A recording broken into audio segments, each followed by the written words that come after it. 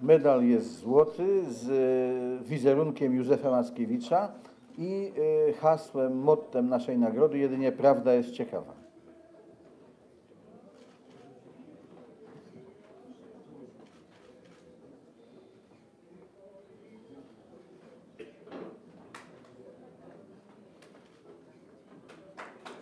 Brawa dla lau- laureata.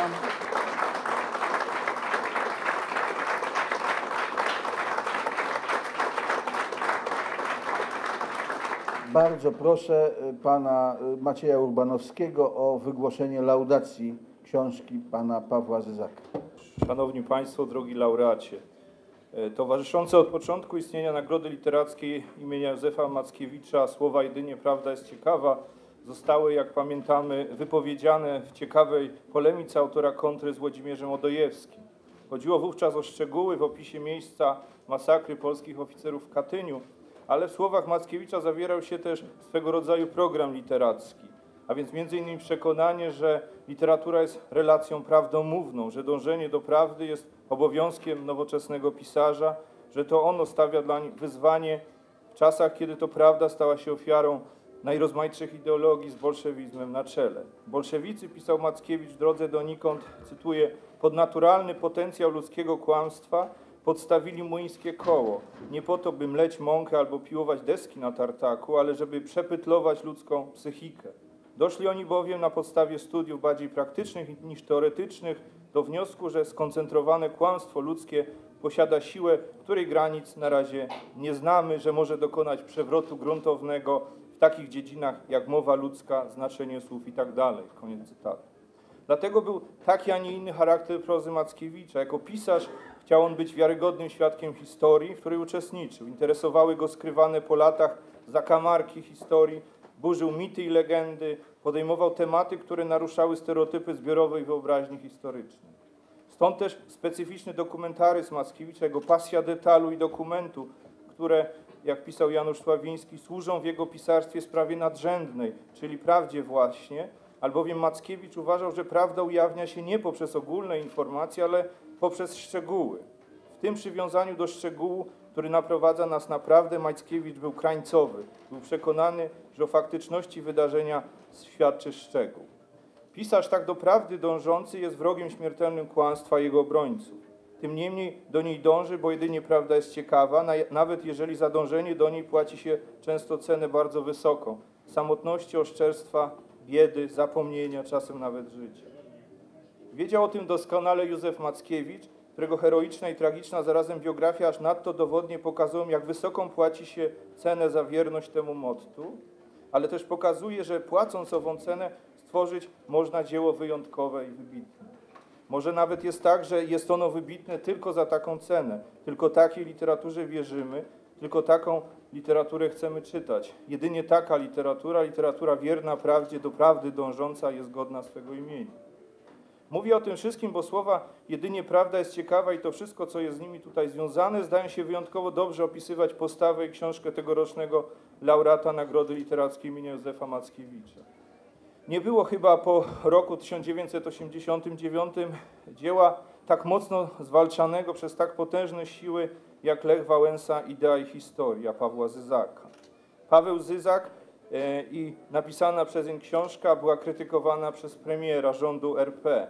Minister tego rządu chciał nawet przeprowadzić śledztwo na Uniwersytecie Jagiellońskim, na którym powstała praca magisterska będąca podstawą książki. Na autora, jak i na promotora jego pracy posypał się grad obelg i gruźb z udziałem mediów i autorytetów moralnych, których część, nie zawsze anonimowo, wzywała do fizycznych porachunków z oszczercami. Z książką polemizowano też w sposób szczególny. Wyrywając z ogromnego, prawie 600-stronicowego kontekstu jeden cytat, oburzano się na całość, nie czytając jej w ogóle, albo uważano, że autor jest za młody, aby mógł się borykać z takimi tematami. Zaatakowano też wydawcę, próbując procesami sądowymi zmusić go do wycofania książki ze sprzedaży, a ostatecznie pewnie, pewnie nawet do likwidacji działalności. Nie ma sensu ani potrzeby szerzej się nad tym tutaj rozwodzić i przypominać tych smutnych, a nawet haniebnych faktów. Kiedyś zresztą pewnie powstanie na ten temat niejedna publikacja, jakiś ciąg dalszy hańby domowej czy dziejów głupoty w Polsce. Trudno przypuszczać, by Paweł Zyzak pracując nad swoją książką, a potem decydując się na jej wydanie, nie był świadom choć części tych reakcji, które go spotkały. A przecież nie zrezygnował. Pozostał wierny przekonaniu, że jedynie prawda jest ciekawa. Prawda jest, jednie, jest zresztą jednym z kluczowych słów jego dzieła. Autor mają ciągle na uwadze, próbując prawdę wydobyć spod warstw lakieru, brązu, stereotypów, kłamstw, ale też niepamięci, zapomnienia, wreszcie strachu. Niczym detektyw Zyzak gromadzi ogromny materiał dowodowy, wypytuje świadków, zbiera cudem czasem ocalałe dokumenty, fotografuje miejsca i osoby, zestawia to wszystko ze sobą, wykrywa sprzeczności, przekłamania, luki w zeznaniach. Interesują go najmniejsze, zdawałoby się, szczegóły. Kiedy zaczął nosić wąsy Wałęsa, czy jest w Dobrzyniu stacja kolejowa, którą wspomina w swojej autobiografii, jak był ubrany w grudniu 1970 roku, czy przemawiał przez tubę, czy raczej mikrofon, gdzie był płot, który miał rzekomo przeskoczyć w sierpniu 1980 roku, bohater jego książki, jaka była tego płotu wysokość. Biograf wie, że, cytuję, lekkomyślne byłoby pominięcie ważkich, choć trudnych szczegółów, takich jak sprawa współpracy Wałęsy ze Służbą Bezpieczeństwa, bo chce zrozumieć, na ile ważną w danych etapach swojego życia jednostką dla systemu był Lech Wałęsa oraz jak prezentował się na tle rozbudowanej morderczej machiny. Bez tych szczegółów taka wiedza okaże się niepełna i ostatecznie nieprawdziwa. Otrzymaliśmy w ten sposób biografię znakomitą, pasjonującą, od której lektury trudno się oderwać. Jak trafnie zwrócił uwagę Krzysztof Dybciak przy okazji wręczenia Pawłowi Zyzakowi nagrody imienia Jacka Maziarskiego, autor z powodzeniem odnawia gatunek portretu literackiego, mający długą nas tradycję, a dziś rzadko uprawiany tak fortunnie. Jest ta biografia także opowieścią o Polsce Ludowej. Jest fascynującym studium psychologicznym i politycznym. Jest sagą rodzinną, ale i historią sensacyjno-kryminalną. Portret Wałęsy kreślony jest na tle fascynujących mini-portretów tych, którzy jego legendę tworzyli, z nią walczyli, a wreszcie tych, którzy jej ulegali. Jest to opowieść o legendarnym przywódcy Solidarności, ale też opowieść o nas samych, którzy mu zaufaliśmy. Mamy też sceny komediowe tutaj w tej książce, ale znacznie częściej dramatyczne, nawet tragiczne, które być może kiedyś weźmie na warsztat jakiś nowy Stanisław Wyspiański, gdy zechce pokazać, dlaczego nie udała się polska rewolucja i czym była trzecia Rzeczpospolita. Swojej biografii Paweł Zyzak stawia pytanie, jaki jest wzajemny stosunek prawdy o Lechu Wałęsie i jego legendy, jak ma się idea Lecha Wałęsy do jego historii. Śledzi ewolucję świadomości przywódczej bohatera. Chce uchwycić sposób myślenia człowieka, który, cytuję, wyszedł ze środowiska wiejskiej biedoty i patologii, a następnie zrobił oszałamiającą karierę w równie szokującym tempie. Interesuje Zyzaka proces tworzenia mitu Wałęsy, zastanawia się nad cechami jego osobowości, które sprawiły, że zrobił on karierę na miarę, jak chcą jedni Piłsudskiego czy Witosa, a inni Nikodema Dyzmy czy Króla Ubu. Przywódca charyzmatyczny czy polski Falstaff i przykład płatania figlów przez historię. To jedno z pytań, które pojawia się w tej książce. Zyzak nie pomija fragmentów tej biografii przemilczanych przez badaczy, tajemniczych, niewygodnych, niebezpiecznych, dzieciństwa i młodości, współpracy ze służbą bezpieczeństwa, niejasności związanych z, y, ze strajkiem sierpniowym, czy nie, niejasności dotyczących lat 80. Prawda, której szuka w swej książce Zyzak, jest stopniowo przeciwstawiana mitowi i tytułowej legendzie. Elementy tej ostatniej są w miarę rozwijania się opowieści coraz bardziej wątpliwe, coraz mocniej podważane. Czy jednak my, współcześni Polacy, mówiono, takich legend nie potrzebujemy? Czy nie ma praw, które są szkodliwe dla sprawy, dla narodu, dla krzepienia serc maluczkich? Walczyli kiedyś z legendami Stanisław Brzozowski, Czesław Miłosz i Konstanty Gałczyński.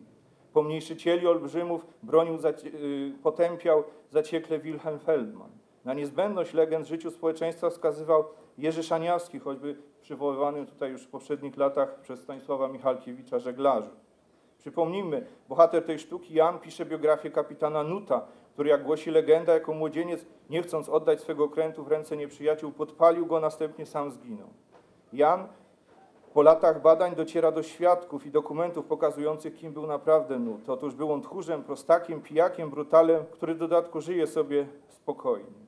Jan, mimo próśb i gruźb, nie ch- chce odsłonić prawdę o kapitanie.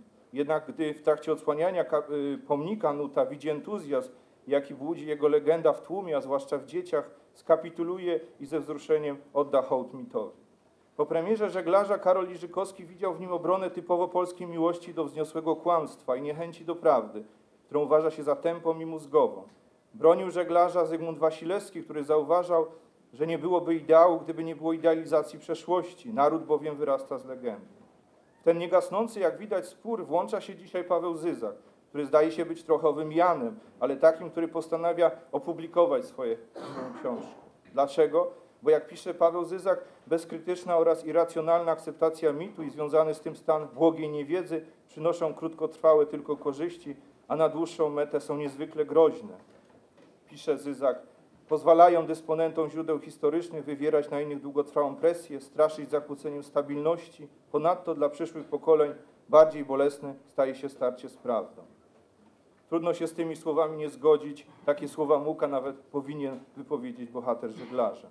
Historyk literatury polskiej, ktoś jak mówiący te słowa, szczególnie lubi literaturę dwudziestolecia międzywojennego, czytając książkę Pawła Zyzaka, skojarzy ją zapewne z innymi utworami z tego okresu.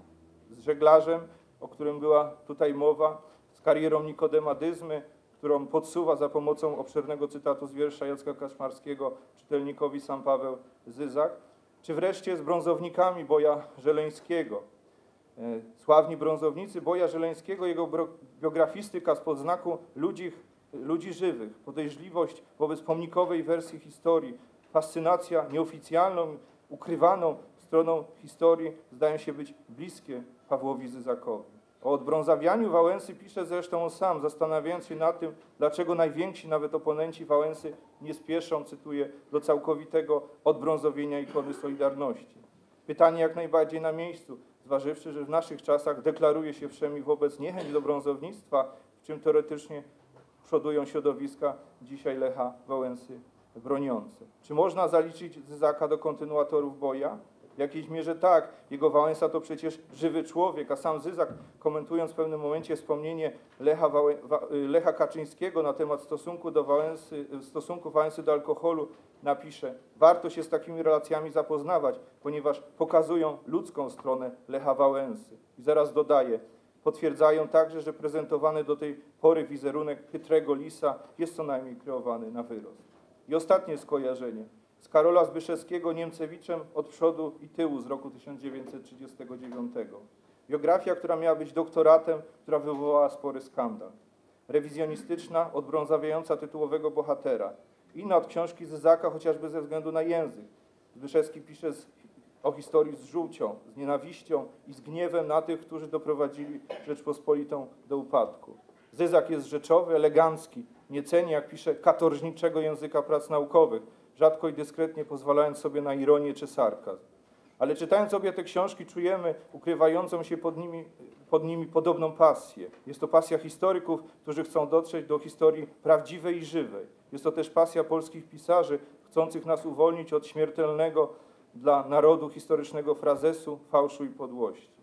Nagradzamy Pawła Zyzaka za tę pasję, za jego odwagę, za to, że stworzył rzecz pasjonującą. Obyśmy chcieli jego książkę przeczytać i wyciągnąć z niej naukę. Gratuluję. Dziękujemy bardzo.